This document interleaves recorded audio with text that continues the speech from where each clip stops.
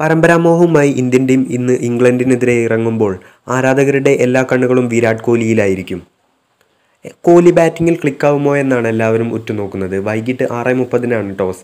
മൂന്ന് കളികളുടെ പരമ്പരയിൽ ഒന്നേ പൂജ്യത്തിന് ലീഡ് ചെയ്യുന്ന ഇന്ത്യയ്ക്ക് ഇതിൽ വിജയിക്കാനായാൽ രണ്ടേ പൂജ്യത്തിന്റെ ലീഡ് കരസ്ഥമാക്കാം. മറുഭാഗത്ത് ജോസ് ബട്ട്ലറുടെ ഇംഗ്ലണ്ടിന് ഇത് ജീവൻ മരണ പോരാട്ടമാണ്. ആദ്യ ട്വന്റി ട്വന്റിയിൽ മിന്നുന്ന ജയം കൊയ്ത ടീമിൽ ചില മാറ്റങ്ങളോടെയാണ് ഇന്ത്യ ഇറങ്ങുക. കോഹ്ലിയെ കൂടാതെ ഋഷഭ് പന്ത് രവീന്ദ്ര ജഡേജ ജസ്പ്രീത് ബുംറ എന്നിവർക്കെല്ലാം ആദ്യ കളിയിൽ വിശ്രമം നൽകിയിരുന്നു. ഇവരെല്ലാം ടീമിലേക്ക് തിരിച്ചെത്തും. ഇഷാൻ കിഷന് പകരം രോഹിത് ശർമ്മയോടൊപ്പം കോഹ്ലി ഓപ്പണറായി ഇറങ്ങാനാണ് സാധ്യത.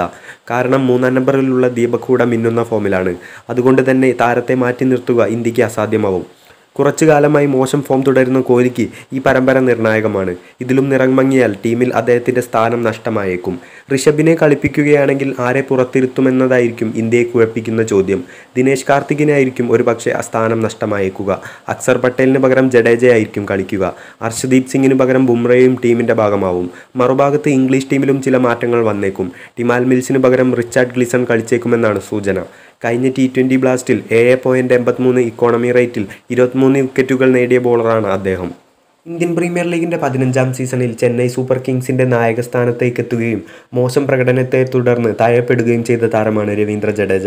ഏറെ നാളുകളായി സി എസ് കെ ടീമിന്റെ നിർണായക ഭാവകമായ ജഡേജ അവസാന സീസണിൽ അപ്രതീക്ഷിതമായാണ് ടീമിന്റെ നായക സ്ഥാനത്തേക്ക് എത്തിയത് പ്രതീക്ഷയ്ക്കൊത്ത ഉയരാൻ സാധിക്കാതെ വന്നതിന് പിന്നാലെ പരിക്കേറ്റ ടീമിന് പുറത്താവുകയും സീസൺ നഷ്ടമാവുകയും ചെയ്തു. ജഡേജയുടെ ക്യാപ്റ്റൻസിയെ വിമർശിച്ച് എം എസ് ധോണി അടക്കം രംഗത്ത് വന്നതു മുതൽ സി എസ് കെയും ജഡേജയും രണ്ട് തട്ടിലാണെന്ന റിപ്പോർട്ടുകൾ സജീവമായിരുന്നു. ഇപ്പോൾ ഇതാ സി എസ് കെയുമായുള്ള ജഡേജയുടെ അഭിപ്രായ ഭിന്നതയുടെ റിപ്പോർട്ടുകൾ സത്യമാണെന്ന തരത്തിലുള്ള നടപടി ജഡേജയുടെ ഭാഗത്തു നിന്നുണ്ടായിരിക്കുന്നത്. സി എസ് കെ ജെയ്സിയിലുള്ള കുറേ പോസ്റ്റുകൾ രവീന്ദ്ര ജഡേജ ഇൻസ്റ്റഗ്രാമിൽ നിന്നും ഡിലീറ്റ് ആക്കിയിരിക്കുന്നു. നിലവിൽ ഇംഗ്ലണ്ടിനെതിരായ ടി ട്വന്റി പരമ്പര കളിക്കാനുള്ള ഇന്ത്യൻ ടീമിനൊപ്പമാണ് ജഡേജയുള്ളത്. ടി ട്വന്റി ലോകകപ്പിലും ഇന്ത്യ പ്രധാന താരമായാണ് ജഡേജയെ കാണുന്നത്. അവസാന സീസണിൽ പ്ലേ ഓഫ് കാണാതെ പുറത്തായ സി എസ് കെക്ക് വരുന്ന സീസണിൽ ശക്തമായ തിരിച്ചുവരവ് അത്യാവശ്യമാണ്.